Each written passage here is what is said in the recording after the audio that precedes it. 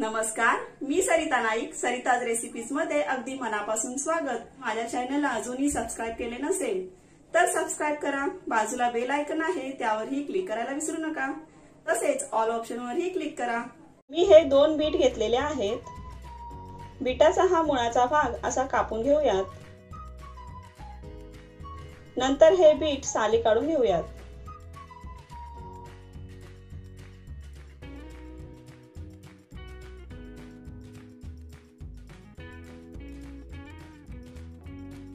माझी दोन्ही बीट साल काढून झालेले आहेत. याचे बारीक सुरीने तुकडे करून घेऊयात. बीट कापून झालेले आहेत. मिक्सरच्या भांड्यामध्ये घेऊयात. यामध्ये अर्धा चमचा लाल तिखट चवीनुसार मीठ चार ते पाच लसूण पाकळ्या. आवश्यक तेवढे पाणी टाकून याची आता आपण बारीक पेस्ट बनवून घेणार आहोत. पेस्ट बनवून तयार आहे. इथे मी गव्हाचे पीठ चाळून घेतलेले आहे. पिठामध्ये आळे करून तयार पेस्ट घेऊयात. गव्हाचे पीठ अंदाजानुसार तुम्हाला जेवढे पराठे किंवा चपात्या बनवायच्या आहेत तेवढ्या अंदाजाने घ्यायचे आहे. पिठामध्ये ही पेस्ट चांगली एकजीव करून घ्यायची. नंतर मिक्सरच्या भांड्यामध्ये पाणी टाकून भांडे धुवून पाणी घेऊयात. आवश्यक तसे पाणी टाकून हे पीठ आता चांगले मळून घेणार आहोत. पीठ मळून झाल्यानंतर दोन ते तीन चमचे तेल टाकून पुन्हा चांगले मळून घ्यायचे आहे. हे पहा मऊसर असे पीठ मळून तयार आहे. या बाउलमध्ये थोडा वेळ ठेवून देत आहे. वीस ते पंचवीस मिनिटे झालेले आहेत. कणिक बघू शकता मस्त अशी तयार आहे. असा मी मीडियम साईजचा गोळा बनवून घेतलेला आहे. सुके पीठ घेऊन हा रेड पराठा किंवा आपली ही लाल चपाती लाटून घेणार आहोत.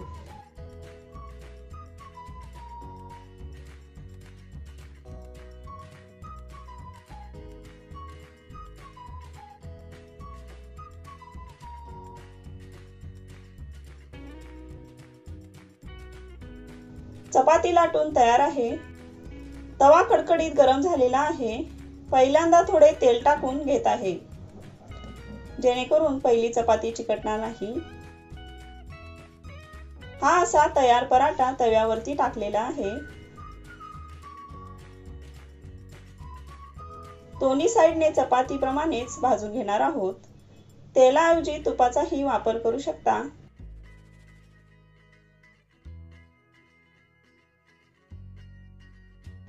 हे पहा पराठा भाजून तयार आहे.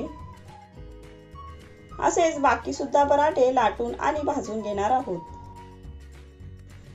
असे हे आपले रेड पराठे लाल चपात्या बनतात. आता ग्रीन पराठा बघूयात.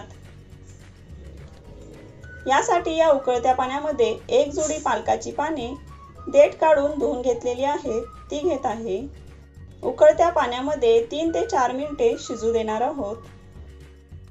अशी शिजून मऊ झाल्यानंतर या उकळत्या पाण्यामधून ताटामध्ये काढून घेणार आहोत. शिजलेली पालकाची पाने चांगली थंड झालेली आहेत. अशी सुट्टी करत पानं टाकायची म्हणजे मिक्सरला व्यवस्थित बारीक होतात. चार हिरव्या मिरच्या घेत आहे. त्यानंतर या पाच ते सहा लसूण पाकळ्या. थोडीशी हळद घेऊयात. चवीनुसार मीठ. आता याची बारीक पेस्ट बनवून घेणार आहोत. पेस्ट आपली बनवून झालेली आहे. एकदम बारीक पेस्ट बनवायची. गव्हाचे पीठ मी आधीच चाळून घेतलेले आहे. ही पालक पेस्ट घेऊयात. तुम्हाला ज्या प्रमाणात चपाती बनवायची आहे त्या प्रमाणात घेऊ शकता. फक्त एक पोषक आहार शरीरात जाणे आवश्यक आहे.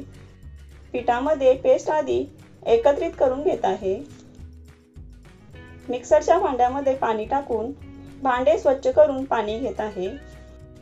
अशी या पेस्टमध्येच किंवा आवश्यक वाटल्यास वरून थोडे पाणी टाकून कणिक मळून घ्यायची. दोन ते तीन चमचे तेल घेणार आहोत. पुन्हा थोडी कणिक अशी व्यवस्थित मळून घ्यायची आहे. तेलामुळे चपाती मऊ होते. तयार कणकेचा गोळा या बाउलमध्ये ठेवून देत आहे. वीस ते पंचवीस मिनिटांनी बघूयात. कणिक अगदी मऊ झालेली आहे. याचा असा मीडियम साईजचा गोळा बनवून घेतलेला आहे. सुक्या पिठावरती हा गोळा लाटून घेऊयात. चपातीप्रमाणेच हाही गोळा लाटून आपला हा ग्रीन पराठा किंवा हिरवी चपाती बनवून घेत आहोत. पराठा लाटून तयार आहे. तवा तापलेला आहेच. ग्रीन पराठा टाकून घेऊयात. दोन्ही बाजूला चपातीला तेल लावतो. त्याप्रमाणेच तेलावरती किंवा तुपावरती पराठे भाजून घ्यायचे आहेत.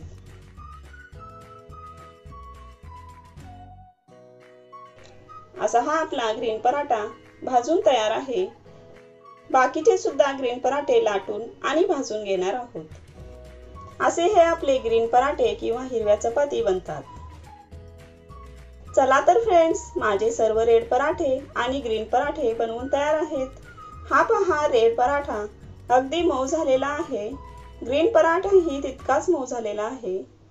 आपले हे कलरफुल पराठे सर्व करूयात.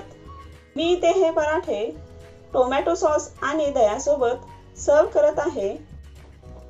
हे पराठे असेही खाण्यास छान लागतात किंवा भाजीसोबतही चपातीसारखे खाऊ शकता. कलरफुल चपाती बघून मुलेही आकर्षित होतात आणि आवडीने खातात. तेवढाच पौष्टिक आहार मुलांनाही दिल्याचे समाधान वाटते. मुलांना तर आवडेलच पण मोठ्यांनाही तितकेच आवडणार. नक्की करून पहा. पुन्हा पुन्हा ही रेसिपी बनवाल. आवडल्यास लाईक करा आणि जास्तीत जास्त शेअर करा. अजूनही माझ्या चॅनलला सबस्क्राईब केले नसेल तर सबस्क्राईब करा. बाजूला बेल आहे त्यावरतीही क्लिक करायला विसरू नका. वेळात वेळ काढून माझा व्हिडिओ पाहिल्याबद्दल धन्यवाद.